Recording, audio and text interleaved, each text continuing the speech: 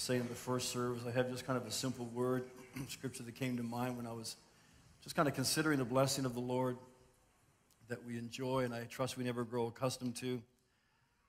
But the scripture is Proverbs 11, which says that by the blessing of the upright, a city is exalted. By the blessing of the upright, a city is exalted. There is a way in which God elevates a city, blesses a city, brings it into a place of freedom. I think of, I think it's back in Acts chapter 8, I believe, where Samaria, the believers in Samaria, God just did a wonderful thing in their midst. And it's interesting that the comment is that because of what God was doing in this people, there was great joy in this city. Would you love that to be said of Moncton? There's just great joy in the city, not because there's some new band passing through town or a new concert on the hill, but there's joy, there's a buzz in the city of Moncton because of what God is doing in his people. And that's what Proverbs says it says, By the blessing of the upright, a city is exalted, but by, its, by the mouth of the wicked, that it is overthrown. By the blessing of the upright, a city is exalted. And I wonder if we really appreciate the power in blessing, the power that is inherent in every single believer to be a blessing and to speak blessings. We know the scripture says in Proverbs 18, I believe it is, that death and life are in the power of the tongue. Death and life itself are contained within the power of the tongue. In other words, when we speak life, what happens? Life flows. Right? I mean, we all know what it is to have someone speak life to us, to speak hope, to speak truth, and how that encourages us. But we also know what it is to have someone speak to us in a way that seems to just foster death. You know, maybe that somebody speaks, or sometimes we're going to say something and we just sense the Holy Spirit checking us saying, Don't say that. And it's not just because it's maybe a bad thing to say, and it may not necessarily be untrue, but we know that it just we just feel gross after when we speak out of anger, when we speak a word of judgment, when we speak, you know, just something critical, whatever, we may have gotten it off our chest, but we just feel like we've just blah on somebody else. And we just kind of feel dirty. There's this withering effect to those kind of words. And yet there are words that we can speak that actually bring life, that bring hope, that bring blessing. Now, that is something that is true, of course, of everybody, whether you know the Lord or not. But it is especially true, I believe, of those of us who know Jesus Christ. Because if the Spirit of God lives within you, then you don't just speak as people. We are actually the oracles of God. We are Jesus in this world. We actually convey His hope, His light, His life. Whatever we speak, we have that opportunity to reverse the curse, you might say, in what might be around us. So, so words have power when they are released. And speaking blessing, I want us to understand this morning, is not just a sign of fanaticism. It's not just some trendy thing. Speaking blessing is actually a sign of spiritual maturity. It's understanding who we are, it's understanding who we carry, it's understanding what our assignment is as we move through our day. We, I was saying the first, uh, the first service there, but, but when somebody sneezes, what do we say? Right. God bless you. Right? Bless you. What are we saying? Hey, man, I love it when you sneeze. Keep it up. God bless you. That was an awesome sneeze. I mean, some people have a pretty cool sneeze. There's no doubt about it and you might chuckle. But that's not what we're saying, right? What are we saying? We're saying, may the God of healing touch your sickness, your affliction, whatever it may be. May God make you whole. That's what we're actually saying to somebody. We're praying a blessing for that person. Now, what is a blessing? I think a blessing essentially is just bestowing or conveying goodwill. Uh, when God created mankind, when He created the earth, it's not a coincidence that after He created it, He blessed it. He said, Be fruitful, be fulfilled, be at peace, prosper, multiply. But we know that sin came into the world and ruined what God intended. So now we, as the people of God, what are we doing? Wherever we go, we are speaking again the blessing of God. We are speaking the intention of God. When we go into places, when we speak to people, and some other things I'll mention in just a moment, what are we doing? We're saying, Lord, restore in this situation what you've intended. Restore in this life. Lord, we see what the enemy has taken away, or the hopelessness, or the sickness, whatever it may be. Lord, we just speak blessing into this life. We speak life into this life. We speak, Lord, a releasing of your intentions for what you've had for this person. I believe that in these days that we are living, we see a lot of spiritual darkness, a lot of spiritual decay. But God is longing for a people who understand their role. God is longing for a people who actually, who actually exercise the privilege of blessing. In fact, the Bible says in Revelation 1 6 that Jesus has cleansed us, forgiven our sin. He's done a wonderful work in our lives. And what has He made us into? He's made us into a kingdom of priests for himself, for God his Father, a kingdom of priests. What is a kingdom? A kingdom means simply that when believers live under the rulership of Jesus Christ, when with joy we consciously submit to Jesus Christ, we allow him to shape us by his word, by his spirit who speaks to us, that when we do that, we are actually establishing a kingdom where the reign of Jesus Christ is seen in us. There's something different about our lives. There's something different that characterizes us because as we submit to Christ, we're not just submitting to rules. In fact, we don't submit to rules, we submit to a love that won't let us go. And we gladly submit to that, and that love begins to shape us in ways that actually make others notice that the Lord is real. A kingdom of priests.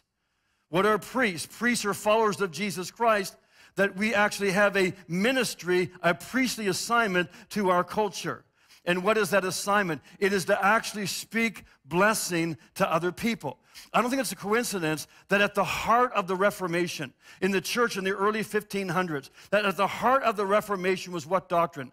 It was faith in Jesus Christ alone, but it was also the priesthood of every single believers that the priesthood was not assigned to those who stand on the, on the, on the pulpit or, or on the platform, right? That, that's basically what Jesus hates. He talks about the, the doctrine of the Nicolaitans. What was the doctrine of the Nicolaitans? It was a, a, a re-separating of the people so you had clergy and laity, and the Lord said, I never intended that. You are all priests unto God.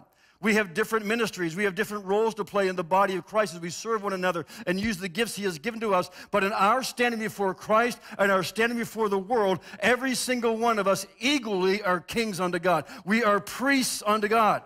That is the role of every single one of us. No one can take your place. That's why the old British term vicar is actually unbiblical. Vicar is, is an abbreviation of vicarious, someone who takes your place. There's no such thing, and I don't mean this as a denominational bash at all, but just the terminology. There's no such thing as a vicar in the body of Christ. No one takes your place. No one substitutes for you. No one does your ministry for you.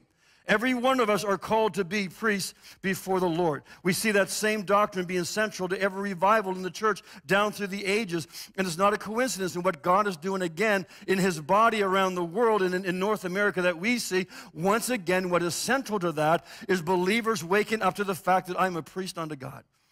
I have a ministry before the Lord, and as priests, we not only worship God, as wonderful as that is, and we enjoy that, but as priests, we are also called to bless people, to bless places. And you know, I think it's one ministry in the church that, that really seldom is exercised. The Bible says in Galatians 3 that if you belong to Christ, then you are what? Abraham's seed and heirs according to the promise. Now you wonder, how can we be Abraham's seed? Biologically, we're not his seed, but he lived so many years ago. He lived under an old covenant. We're in the new covenant. How are we Abraham's seed? Well, Paul goes on to say that basically Abraham's seed, physically, biologically, was Jesus Christ prophesying that he would come who would be the Savior of the world, and through him, all the nations of the earth would be blessed. He also intended the nation to be blessed through the nation of Israel, but ultimately through the person of Jesus Christ. But the beautiful thing is, we see this principle carried over into the New Testament, is that it doesn't stop there. Now that Jesus lives within you and me, not only is there a biological seed that has blessed the peoples of the earth, but now there is a spiritual seed that is in you and me that we verbally speak, that we bestow upon others. Lives can be touched, situations, environments can be changed because of the spiritual seed of Jesus Christ that we carry within us. We have a sample, for example, of one of the priest's prayers that you might pray, Numbers six. We've heard it many, many times. Read it with me. The Lord bless you and keep you. The Lord make his face to shine upon you and be gracious to you. The Lord turn his face toward you and give you peace. Isn't that a beautiful prayer? Isn't that a beautiful blessing? I mean, that's not just empty words. That's not just a, a nice thing somebody wrote up. You get this sense of weight. Even as you speak those words, you get a sense that it carries something. It makes a difference. This, this blessing that has been spoken, the Lord, the Lord bless you. Isn't that powerful? You walk into a situation where there's hopelessness. You, you speak to somebody and, and then they just feel overwhelmed. They feel shut down. And, and you just walk in and say, The Lord bless you. The Lord keep you. The Lord make his face to shine upon you and be gracious to you. The Lord would turn toward you and give you peace. What are you saying? That's the heart of God toward you. That's the message I've come to bring to you. There's power in the blessing from the people of God. Now, the Bible is clear that there is a direct correlation between what we allow God to do in our heart and the actual impact we can have around us. As we allow the Lord to work on us, to grow us, then we can have an impact on the culture around us. And we do that through the words that we speak, and we also do that through the blessing of God that is upon our life. The blessing that we carry wherever we go. Now, I don't mean just kind of empty words. What I mean by the words that we speak is that our words convey attitude. Our words convey where our heart is. And when we know who we are with Christ, when we are walking with the Lord, when we are speaking like Jesus said in response to what he hears the Father speaking, what the Spirit is speaking to us, then there is power in the words that we speak.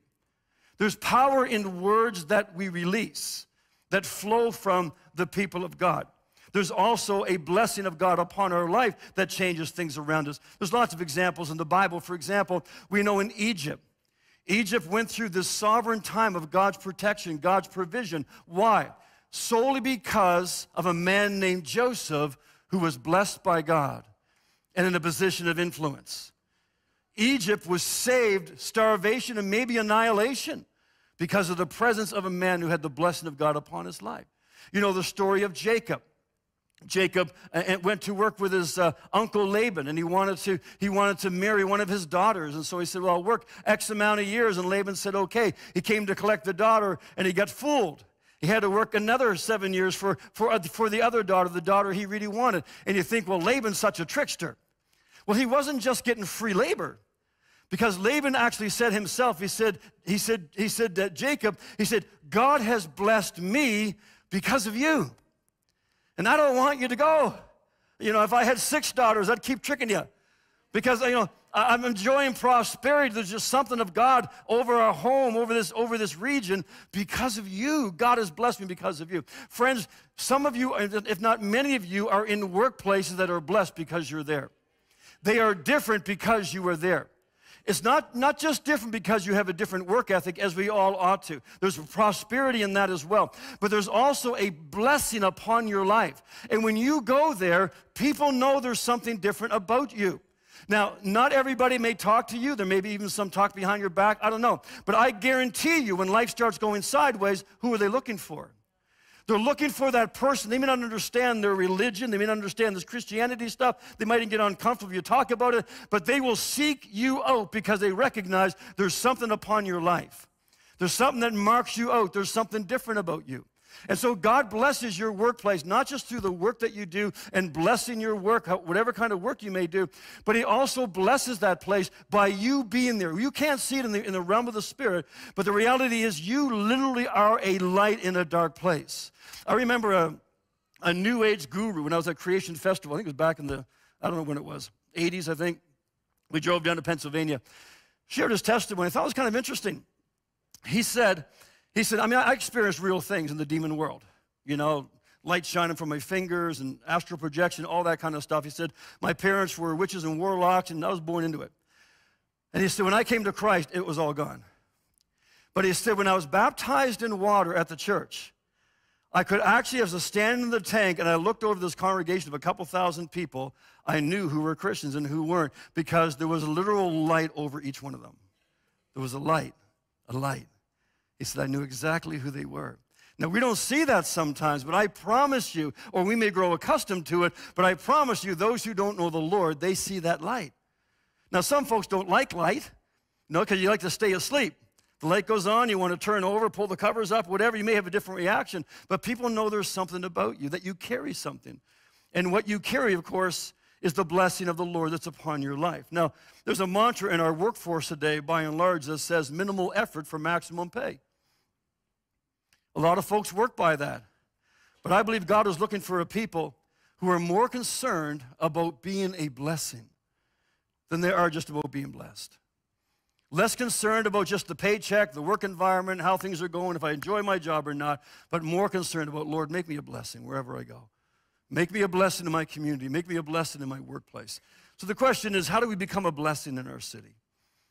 By the blessing of the upright. It is through, via the blessing of the upright, that a city is actually exalted. I'll give you two simple ways. One is we need to accept our privileged role. What I mean by that is we need, there needs to be something within us that turns on and we realize, man, I'm not just an ordinary person who actually has a different religion than somebody else. I'm a priest of God. I carry the presence of God. My words matter. My prayers matter. My assignment matters wherever I may be. I need to accept my role. The idea of speaking blessings seems strange to so many people in our Western culture, but friends, I want to encourage us. It is a ministry that every single one of us can operate in if we choose to do so. In fact, I would say that one indication that you actually believe in the power of God and the power of God is relevant and applicable to our day is the fact that you actually function in that role. That we actually do something with what it is the Lord has given to us. Paul writes in Ephesians 1 Praise be to the God and Father of our Lord Jesus Christ, who has blessed us in the heavenly realms with every spiritual blessing. Would it be too bold to say we don't need any more blessings? We don't need more blessings. We don't need to pray for more blessings. What do we need to do? We need to start conveying the blessings we have. We need to start speaking those, ministering those blessings. Allow the Lord to pour back into us as we pour out. Freely receive, we freely give. As the old saying goes, we are blessed. Why? To be a blessing. In whatever way that may be, that the Lord blesses us and cares for us, that we know His peace, we know His prosperity, we know His purposes. Why? In order to minister those to others. Satan doesn't want us to know about that. He doesn't want us to understand the power of blessing because it's a threat to his plans. But the Lord has given us assignment to pass those blessings along. I said in the first service. I don't know if this is true or not. It's not the first time I lied. I'm just kidding. But what I mean by this is I don't know, the thought crossed my mind as I was preparing for this morning. The thought just crossed my mind. I wonder if, in some small, simple, insignificant way, that one of the reasons why we enjoy the blessing of the Lord, and the Lord has so much more, and we have so much more to learn and grow in, but it may be one of the very small reasons why we enjoy the blessing of the Lord as Glad Tidings Church is because of what has been a personal practice of mine for almost 18 years. And what that is, is when I'm alone in my car driving through town, whenever I pass by another church, I verbally, vocally pronounce blessing on that church. I say, God, bless that church, bless that leadership, bless those people. Lord, grow them, free them, meet with them, love on them, Lord. That's always been my prayer. And I don't know if some small way the Lord's just kind of honored that and say, I'll do that and I'll bless you too. In fact, I got to be honest with you this morning because I don't want to sound too spiritual, but it wasn't really birth or the birth of the best of circumstances. I remember when I first came and we were fewer in number at that time, still a good sized congregation, but we've, we've seen a lot of growth. But I can remember being parked at the lights, uh, the red light on St. George Street, St. George Boulevard, uh, just on the top there. And, and I'm just kind of sitting there, and, and, and for some strange reason, I just kind of felt this little, almost like a little burning on the side of my face. I'm just looking straight ahead. And I look over, and it's Moncton Wesleyan Church. And in those days, it was a big church. It still is today. It was a lot bigger than our church. Now, Pastor Buckingham and I are good friends, okay? So it's, it's all good now. But it was at that moment that I recognized something in me I didn't like this jealousy, maybe even resentment, or a spirit of competition. And I knew immediately the Lord was saying, the only way you're going to uproot that is every time you pass by, you bless them. Bless them. Pray for them. Pray for prosperity. Pray for greater growth. Pray for the leadership. And that's been our heart ever since. And that's grown to every church that we go by over and over again, just praying the blessing of the Lord. And I believe the blessing of the Lord not only works in that sense that we release that blessing, we release that life to the person or situation that we speak to, but there's comes something in return for us. We're getting our eyes off of ourselves. We're being reminded of what our mission is, what our assignment is. And when the Lord can find faithful people who understand that assignment and move in that assignment, then as we bless, we are blessed. In so many ways that we may not even recognize. We need to accept that privileged role that we have, and we need to advance in that role. What I mean by that is God said to Joshua in chapter 1, He said, I will give you every place where you set your foot, as I promised Moses. Now, that was a promise to Joshua, but I promise you it still applies today. And the reason I believe that is because this same sentiment is actually echoed in the words of Jesus in Matthew 28. Will you read it with me?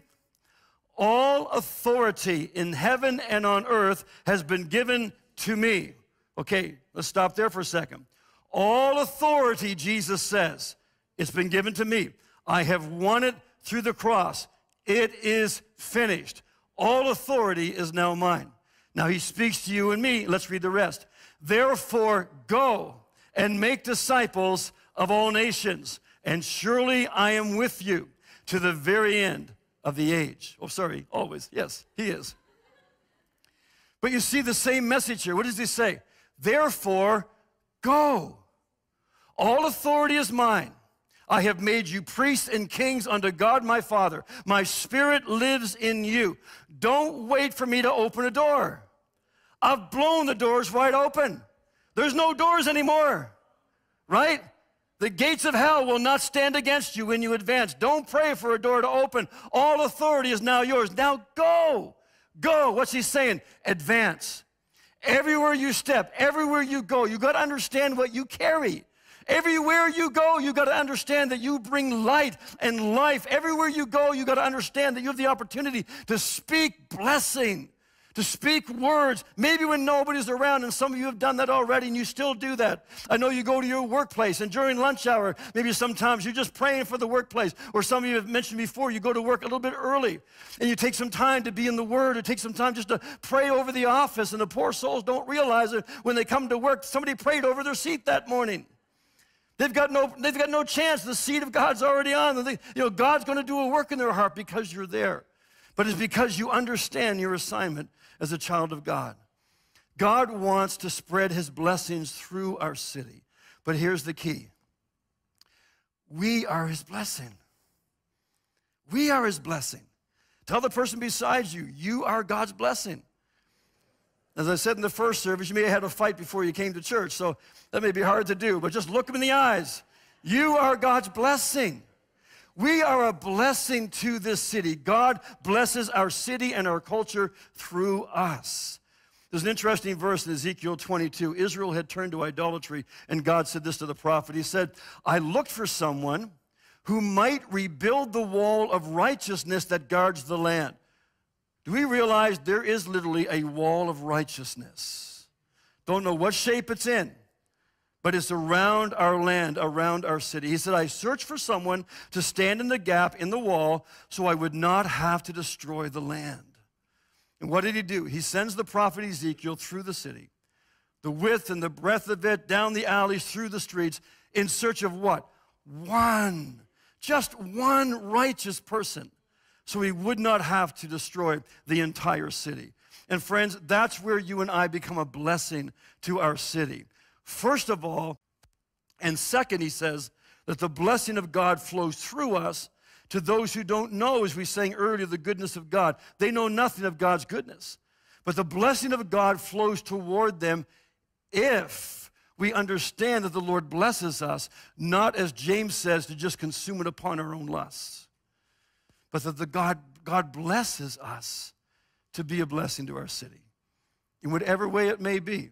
His presence, financially, freedom, a life that's working, whatever it may be. He wants it to flow to others around us. Let me just give you in closing a couple practical ways that we can bless our city. The first one I would suggest, very simple, is begin with your own neighborhood. Just begin with your own neighborhood. Begin with your own workplace. Don't bother raising your hands, but how many know the names of your neighbor? How many know anything about their lives?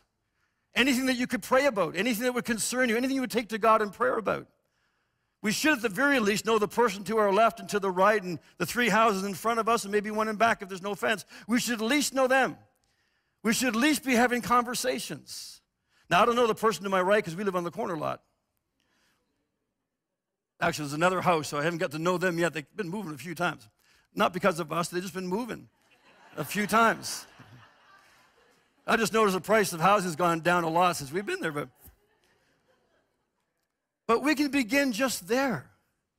And you know what else we can do? How many like going for a walk around the neighborhood, right? Have you ever considered when you go for a walk to pray for the homes along the way? Just to maybe ask God for a burden, just pray a general, generic kind of blessing as you walk, or, or just allow the Lord to maybe lay something in your heart. Somebody was sharing a little while ago how they began to do that, and God began to really burden them for particular houses. Then over time, He began to lay things in their heart. I want you to take this to this house, I want you to take that to that house. And they began to do that. It's amazing what, what God has begun to open up. But we need to pray as we walk around our neighborhood or as we get to know the people, get to know more about them and take them to prayer and see God begin to open up, blossom their lives, and, and the ministry opportunities will obviously be there. I remember a couple who were actually going for a walk, and as they were walking along, all of a sudden they just heard from one house just this screeching. This couple, husband and wife, man or woman, I don't know what, they're just screeching, having this argument. Now, typically, what a lot of folks do is you hear that, what do we do? Right? What I love about this couple is they're walking along, they hear the screeching, they stop, reach out their hands to the house. In the name of Jesus, we just declare peace right now. We, we, we invite your kingdom, Lord. We invite your love right now. And it just immediately begin to subside. Now, I don't know if they saw these crazy folks out the front, you know, sidewalk doing that. Maybe it just spooked them. There was no indication that they saw them. But there's just something of a spiritual dynamic that happened there. Why? Because number one, this couple, ordinary believers, understood their priestly role. They understood who they were. And what did they do? When that happened, they moved right into it. That's our role. That's our privilege. This is our opportunity. They moved right into that because they understood who they were and they understood the authority that they have over the powers of darkness. They understood that by their blessing, that righteousness, the city is exalted. The neighbors are exalted. The climate can change because of their walk with the Lord. And friends, blessings are not silent prayers. Blessings are public declarations. It's walking through your workplace when no one's around. I suggest when no one's around. And speaking out loud, speaking names, declaring things. You can do it while they're there. That'd be interesting. whatever, I'm getting off topic, but it's just that intentionality.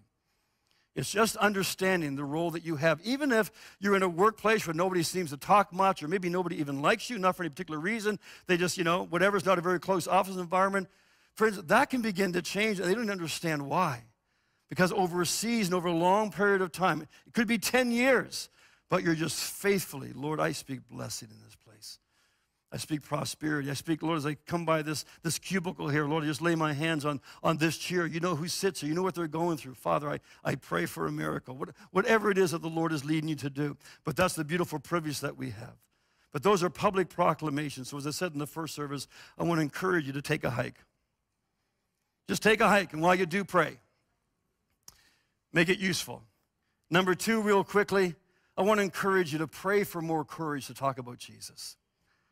Pray for courage to talk about Jesus more to your friends, to your neighbors, to your co-workers, to strangers, whoever it may be. I was so encouraged Thursday night. As you know, we, we uh, do some street ministry, and, and we, we encountered a number of different people. And I, and I just marveled at how often, when we first would meet with people, there'd be either indifference, or there'd be anxiousness, or animosity, or, or, or just you know, resentment kind of thing. But you could just sense as God was just speaking blessings, He was just speaking life and love and, and comfort, just how the walls begin to come down, and, and ministry happens, and, and you just see peace begin to settle in hearts. You begin to see hope, and, and in some cases as well, physically, you see the Lord touch and heal bodies. It's just, it's just the nature of God. He wants to bless, He wants to love, He wants to restore people to His original intention.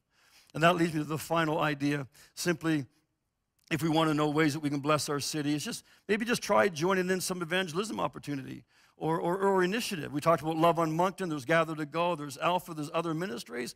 We just have an opportunity, if you just kind of need to shake things up a little bit and get exposed a little bit, build some courage, then just involve yourself in some of these things, even for a short period of time, just to get a taste and just to see what God can do through you. The Apostle Paul wrote in Romans 8, will you say it with me? If the spirit of him who raised Jesus from the dead is living in you, he also who, he, sorry, he who raised Christ from the dead will also give life to your mortal bodies because of his Spirit who lives in you.